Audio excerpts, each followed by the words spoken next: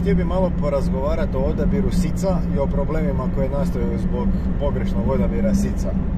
To je jedna tema koja me jako ljuti jer vidim da po internetu ima masu pogrešnih informacija i tvrdnji.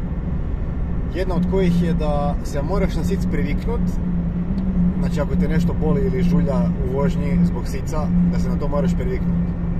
Nemoj se na to privikavati. Znači ako te jednom sic ne žulja, pogotovo ako je to neki novi sic kojeg voziš ili ako si tek kupio biciklu koja je došla s tim originalnim sicom i ako nakon jedne vožnje vidiš da te guzica boli ili žulja, nikad se to neće popraviti, treba ti drugi sic. Ljudi na internetu tvrde da treba promijeniti dres ili, da ili uzeti kvalitetan dres. Ok, možda se ne razumijete u siceve, ali se sigurno razumijete u patike.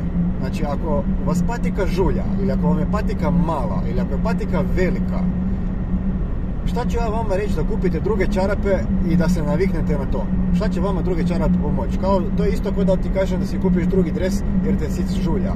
Znači, to je debilizam. Neće ti čarapa pomoći ako ti je, sic, ako ti je patika velika, isto tako ti neće pomoći ako ti je patika mala. Znači, treba ti druga patika koja ti odgovara. Isto i sa sicom. Znači, postoje određeni oblici i određene širine, odnosno dimenzije sica, ti moraš odabrati adekvatan sic po širini svoje zdjelice.